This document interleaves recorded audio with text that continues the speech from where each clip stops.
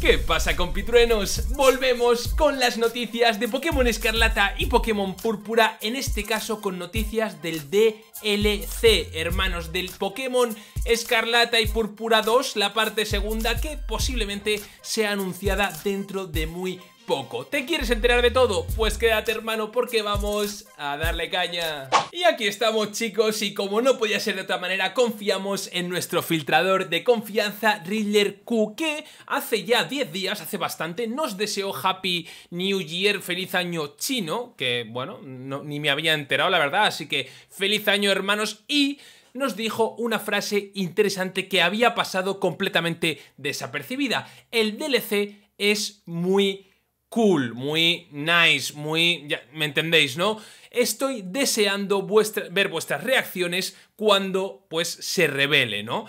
Eh, chicos, a mí esto, o sea, yo es que no lo había visto y he dicho, mm, coño, un DLC que sea, mm, pues, de puta madre, ya el juego, ya el juego es entretenido, ya el juego es divertido, supongo que estaréis de acuerdo conmigo en que el juego tiene sus fallos, pero es un juego divertido, un juego con una historia que creo que... Mm, merece ser remarcada y, bueno, que marca un antes y un después en la historia de Pokémon, ¿no? Pues el DLC para él es top, así que eso es importantísimo a la hora de decidir si nos queremos gastar la pasta en ese DLC o no. Pero no solo eso, hermanos, esto es solo el principio, sino que también nos ha dicho hoy mismo, bueno, realmente ayer, ¿quieres saber el nombre en clave, el nombre codificado del proyecto del DLC para Titán, por los que no lo sepáis, Titán es el nombre en clave que reciben Pokémon Escarlata y Pokémon Púrpura, ¿vale? Entonces nos ha puesto un acertijo para adivinar cuál es este nombre en, clave. Chicos, esto no quiere decir que este nombre en clave pues vaya a solucionarnos la vida, ¿no? O sea, nos vaya a decir todo sobre el DLC, ni mucho menos, porque ya me diréis Titán sobre Escarlata y Púrpura, qué es lo que nos está diciendo, ¿no? Como sabéis, estos nombres en clave que siempre usan suelen ser un poco extraños, pero bueno, empiezan los leaks y chicos, obviamente que va a haber un DLC está confirmadísimo. Riddler tiene información más que de sobra, así que bueno, pues aquí lo tenéis. ¿Qué es este acertijo? ¿Qué es lo que nos está diciendo aquí? Pues chicos, ha llegado el momento de, bueno, ver qué es lo que nos eh, ha descifrado la gente, ¿no? Porque obviamente yo no entiendo chino, así que vamos a analizar lo que ha dicho la gente y ver cuál tiene sentido, cuál no de estas teorías. Vamos a verlo, hermanos. Lo primero que nos dicen es esto de aquí. Nuestro amigo Malik Abui ha sacado de chat GPT una descripción de, digamos, exactamente esos caracteres. Y lo vamos a traducir porque, bueno, así lo entendéis mucho mejor. Es una frase china que significa debe haber miles o debe haber miles. Eh, increíble, un aplauso por favor. un aplauso a esta traducción. No, pero bueno, básicamente dice, eh, tiene que haber miles o eh, debe haber miles de ellos, ¿no? Al fin y al cabo es una forma de expresarlo en inglés diferentes, pero realmente significa lo mismo, así que tiene todo el sentido del mundo. A menudo se usa para expresar sorpresa o asombro por la gran cantidad de algo. Podría usarse para expresar una gran cantidad de cualquier cosa como personas, cosas, animales, Pokémon. Sería increíble que este DLC incluyera todos los Pokémon. Como sabéis, hay más de mil Pokémon y sería pues increíble que no sé, que este nombre hiciera referencia un poco a eso, ¿no? No lo sabemos, chicos. A lo mejor han usado el nombre en clave, pues eso, miles o algo relacionado con los Pokémon. No lo sé. Este chico ha sacado esto de ChatGPT, que ya sabéis que es una inteligencia artificial brutal, ¿no?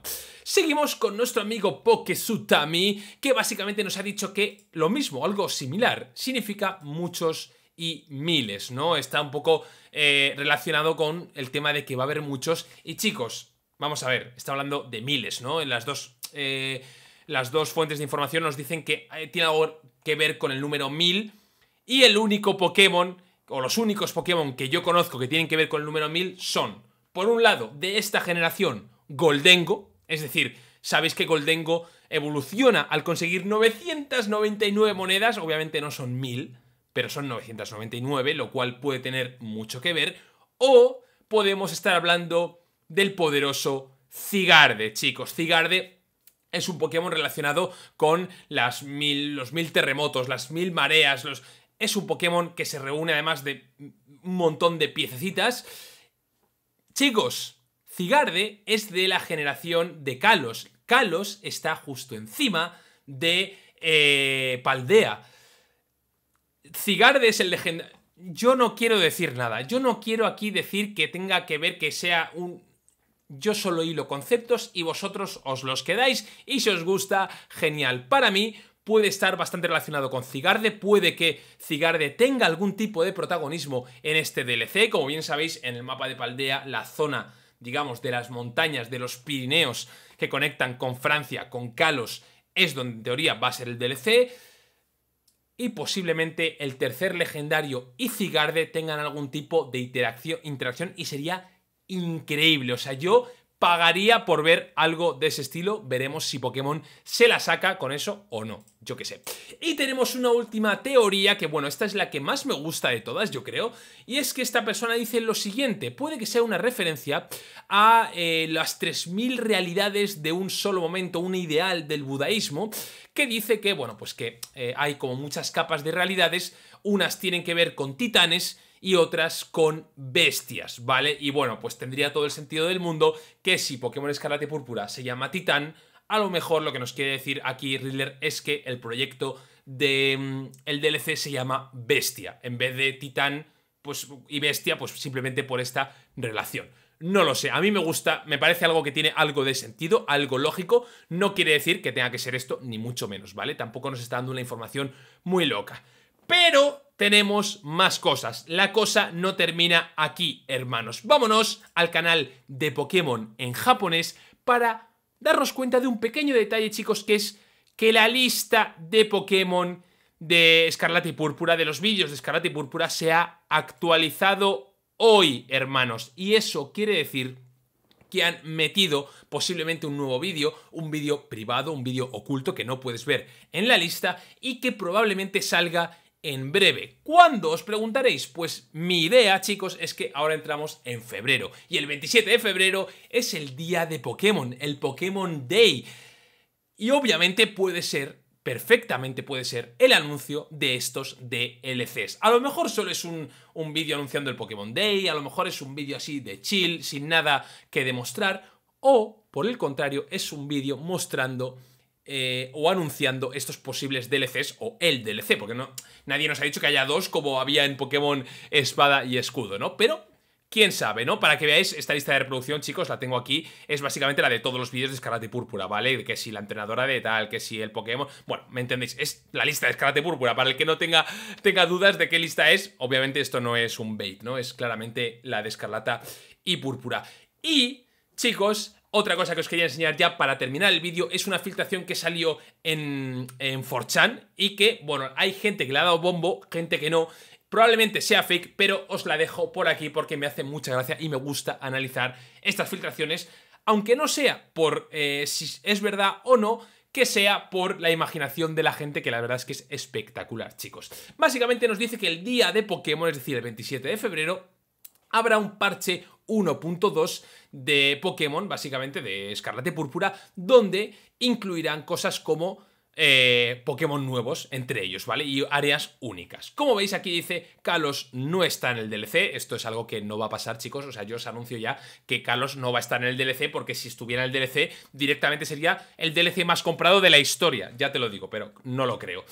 Eh, y Corrina, que no sé quién es, vuelve en una facilidad de batallas abiertas, de abiertas a...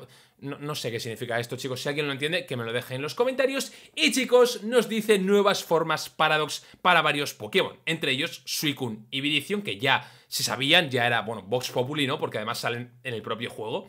Así que aquí los tenemos. Paradox Suicune sería Agua Dragón. Cuidado con eso. Agua Dragón es una combinación brutal.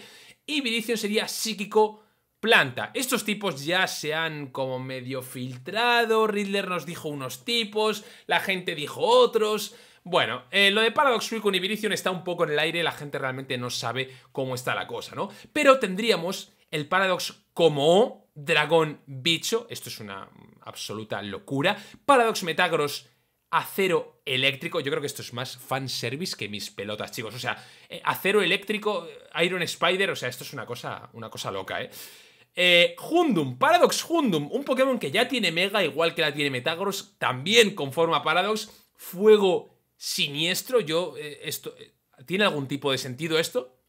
O sea, ¿tiene algún tipo de sentido que Hundum tenga una forma paradox que es el mismo tipo que Hundum?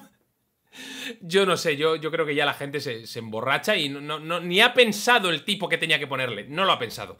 Y Paradox Heliolis, que sería eléctrico dragón. En este caso, los futuristas serían eh, Metagros, Virizion y Heliolisk, y los Paradox pasados serían Hundum como Isuigo. Bueno, la peña, eh, en este caso aquí yo creo que ha faileado, porque esto tiene que ser más fake, que vamos, yo no sé, increíble.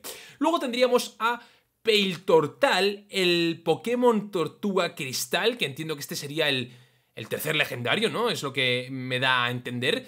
Eh, para esta criatura masiva antes de que invada Paldea con su nueva creación de Paradox, de Pokémon Paradox, o sea, esto es, una, esto es una locura. Parece que esta tortuga es la que crea Pokémon Paradox o algo así, según esta persona, se le ha ido un poco eh, la pelota, pero tal es un una arma antigua de una civilización perdida con el poder de, digamos, transformar todo en realidad, todo lo que se imagine. Bueno, aquí lo que se ha fumado no tiene ningún sentido, chicos, la verdad. y Yaku eh, ha estado siempre fascinado por el profesor, la profesora Sada o el profesor Turo, las investigaciones.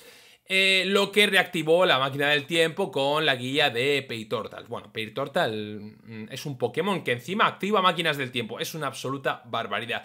¿Molaría que esto fuera así? Bueno, molaría que fuera algo épico, chicos. Algo relacionado con, a ser posible, eh, Kalos, sinceramente, me gustaría mucho. Me gustaría que hilaran también el tema de, obviamente, el tercer legendario, la teracristalización y el arma, eh, bueno, de la historia de Kalos. Molaría muchísimo. Pero tendremos que esperar a tener más información y que podamos ir desvelando, pues, cositas, ¿no? Y hasta aquí el vídeo, chicos. Espero que os haya gustado. Reventad ese botón de like si os ha molado. Apretad ese botón como si no hubiera un mañana. Y nos vemos en el próximo vídeo. ¡Chao! Tchau!